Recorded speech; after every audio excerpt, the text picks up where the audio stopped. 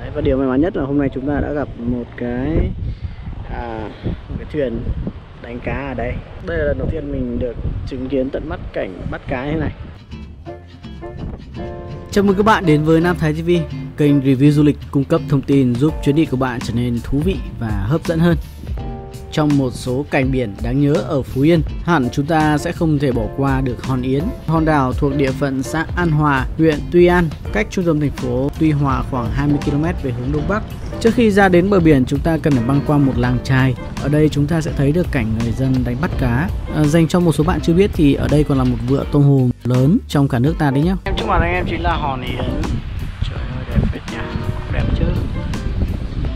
Sở dĩ nơi đây được gọi là hòn yến bởi trước kia có rất nhiều những cặp yến về đây làm tổ và sinh sống. Tuy nhiên sau khi mà con người xuất hiện, đánh bắt và khai thác ở khu vực này, chị Yến đã rời đi và không còn thấy xuất hiện ở đây nữa. Người dân vẫn giữ cái tên mộc mạc đó cho đến tận bây giờ. Địa danh này không hề nổi tiếng bởi những con chim yến mà nó thu hút khách du lịch bằng những giải san hô lộ thiên ở trên cạn. Từ thôn nhân hội nhìn ra, các bạn sẽ nhìn thấy hai hòn đảo cạnh nhau. Hòn lớn với thế như chóp nón khổng lồ cùng những vách núi dựng đứng được gọi là hòn yến con hòn nhỏ thì gọi là hòn sụn khi đến đây các bạn nhớ xem lịch của con nước nhé theo kinh nghiệm cá nhân của mình thì vào những ngày đầu tháng hoặc những ngày giữa tháng của âm lịch vào hoàng hôn sẽ là thời điểm mà nước sẽ rút. Các bạn có thể căn theo cái lịch này để mà đến đây.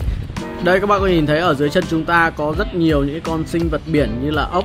Nhưng mà đây là cái khu vực gần bờ nên là chưa có nhiều cái rõ ràng lắm. Bây giờ chúng ta sẽ đến với chân của hòn sụn. Ở khu vực chân của hòn sụn thì cái đường đi nó khá là nhỏ và các bạn có thể nhìn thấy ở bên dưới kia có sóng và phía bên dưới là san hô đấy. Tuy nhiên thì ở đây do trời mưa nên chúng ta sẽ không thể nhìn thấy được san hô bên dưới vì mặt trời đã bị mây mưa nó che mất rồi. Mình sẽ đưa các bạn đi một vòng quanh cái khu vực này xem nó có gì đặc biệt không nhá. Nói, nói chung là con đường ở đây khá là nhỏ và phải nhảy qua những cái khe cũng khá là nguy hiểm nên là bạn nào mà không có kỹ năng thì mình khuyến cáo là không nên đi ra khu vực này. Ở khu vực này sẽ nhìn thẳng ra hòn yến và không có đường đi tiếp chúng ta phải cần phải quay lại. Ở phía đằng sau chúng ta sẽ có một cái lối lên. Bây giờ thì mời các bạn đi cùng mình để chúng ta cùng leo lên trên đỉnh của hòn sụn nhé đây bây giờ chúng ta phải leo lên trên cái vách này. Lúc nãy mình thấy có hai bạn một nam một nữ dắt nhau leo lên được nên là mình nghĩ là ai cũng có thể leo được thôi. Nhìn thế này thôi chứ nó cũng không quá khó leo đâu. Nhìn hơi dốc cũng hơi sợ đấy nhá Wow đẹp chưa này, phía trước mặt chúng ta kia chính là gành ông Phim trường của bộ phim Hoa vàng trên cỏ xanh. Ở kia còn rất là nhiều những cái nơi để neo đậu tàu nữa kìa. Còn hòn yến thì ở phía bên trái chúng ta rất cần phải leo lên tiếp. Hiện tại trời đây đang mưa nên là rất là trơn. Đấy, các bạn có thể nhìn thấy ở phía bên dưới kia có một con đường màu đen kìa. Khi các bạn đến đây vào lúc mà thủy chiều rút thì các bạn sẽ được nhìn thấy con đường này. Và con đường đấy thì các bạn có thể đi bộ ra đến tận hòn yến luôn theo kinh nghiệm mình được một số anh chia sẻ lại thì các bạn hãy chọn những ngày mùng 1 hoặc là những ngày rằm. Âm lịch từ tháng 4 đến tháng 8 vào thời điểm buổi chiều hoàng hôn thường thường thì lúc đó sẽ là thủy chiều rút. Chúng ta sẽ gặp được cái con đường đi xuyên biển kia. Các bạn có nhìn thấy con đường lớn dẫn ra đến hòn yến kia không? Nó có màu đen tuyền giống như những viên đá ở khu vực hình đá đĩa vậy. Và nếu chúng ta nhìn kỹ một chút vào hòn yến thì chúng ta cũng sẽ nhận thấy rằng những cái cột đá ở đây có cấu tạo rất là giống ở gành đá đĩa luôn Đến đây thì chụp ảnh hòn yến thôi thì vẫn chưa hết. Chúng ta còn có một điều cực kỳ tuyệt vời nữa mà mình muốn giới thiệu với các bạn ngay bây giờ, đó chính là cảnh đánh bắt cá Đứng ở trên đỉnh ngọn sụn thì các bạn sẽ được quan sát những tàu cá hỗ trợ nhau, Họ chạy vòng vòng rồi cách họ thả lưới xuống. Rất là thú vị. Và đây là lần đầu tiên trong cuộc đời mình có thể nhìn thấy một cái cảnh tượng Cảnh tượng đánh bắt cá mà không cần phải ra biển như thế này.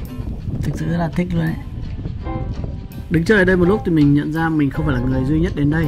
Và đây còn là nơi mà các nhiếp ảnh đến chụp ảnh. Mặc dù là trời mưa nhưng mà cái cảnh đánh bắt cá ở đây được rất là nhiều nhiếp ảnh ưa thích. Nên là nếu các bạn muốn có những bức ảnh độc lạ và đẹp Thì nhớ đừng bỏ qua địa điểm này khi đến Phú Yên nhé. Đấy đứng ở trên này các bạn nhìn xuống có thể thấy ở bên dưới kia tất cả đều là san hô. À, Cái bạn ở bên dưới đứng kia thì chính là cái góc mà lúc nãy mình đưa các bạn ra thì là phía ngay bên dưới kia. Đứng ở trên này thì góc nhìn tuy không rõ được cảnh san hô nhưng mà chúng ta có thể nhìn được rất là bao quát cũng rất là đẹp. Nên là các bạn à, nếu mà đến đây thì nhớ ghé qua cả bên dưới cả bên trên nhé Đấy, và điều may mắn nhất là hôm nay chúng ta đã gặp một cái à, một cái thuyền đánh cá ở đây. Đây là lần đầu tiên mình được chứng kiến tận mắt cảnh bắt cá như thế này. Mình rất tiếc trong video này đã không thể quay được cảnh san hồ đây Nhưng thực sự nó rất đẹp. Mình sẽ để một vài ảnh minh họa san hồ ở đây cho các bạn xem. Các bạn thấy địa điểm này thế nào? Có đáng để các bạn dành thời gian để đến đây khám phá nó hay không? Nhớ để lại suy nghĩ của bạn ở dưới phần bình luận cho mình nhé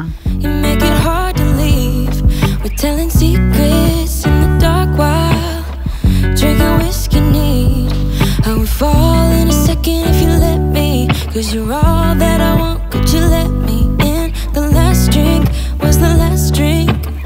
But I don't wanna leave. I wanna get closer. Don't want this night to be over. Wanna get closer, it's not over Yeah, we could go back to my place. Cause I don't Video của mình đến đây là hết rồi Cảm ơn các bạn đã xem. Chúc các bạn có những phút giây vui vẻ ở bên gia đình. Tạm biệt và hẹn gặp lại các bạn ở điểm tiếp theo của Nam Thái TV nhé.